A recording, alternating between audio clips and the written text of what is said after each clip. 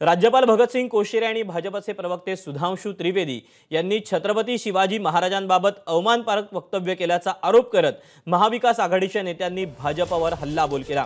शिवरायांबाबत राज्यपाल कोश्यारी आणि सुधांशू त्रिवेदी यांनी केलेल्या वक्तव्यानं महाराजांचा अवमान झाल्याचं सांगत भाजपनं या प्रकरणी माफी मागावी अशी मागणी महाविकास आघाडीच्या नेत्यांनी केली आहे. तसंच राज्यपाल कोश्यारी यांच्या वक्तव्याची पंतप्रधानांनी दखल घ्यावी आणि त्यांना पदावरून दूर करावा अशी मागणीही महाविकास आघाडीचे नेते करत आहेत.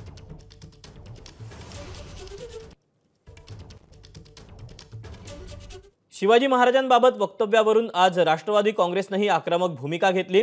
विरोधी पक्षनेते अजित पवारांनी ट्विटरवरून राज्यपाल कोश्यारींवर निशाणा साधला. राज्यपालांच्या आक्षेपार्ह वक्तव्याची पंतप्रधानांनी दखल घ्यावी अशी मागणी अजित पवारांनी केली आहे.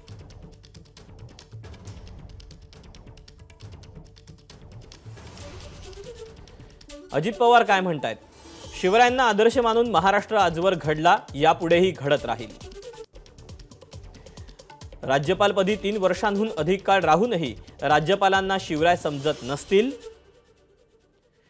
तर महाराष्ट्राची लोकभावना कळत नसेल तर राज्यपालांनी पदावर राहण्याबाबत पुनर्विचार करण्याची वेळ आली आहे. राज्यपालांच्या निंदनीय वक्तव्यांची पंतप्रधानांनी गांभीर्यानं दखल घ्यावी असं अजित पवारांनी ट्विट करून म्हटलेलं आहे. राज्यपाल महोदयांना सद्बुद्धी लाभो ही प्रार्थना. एबीपी माझा. उघडा डोळे बघा नीट.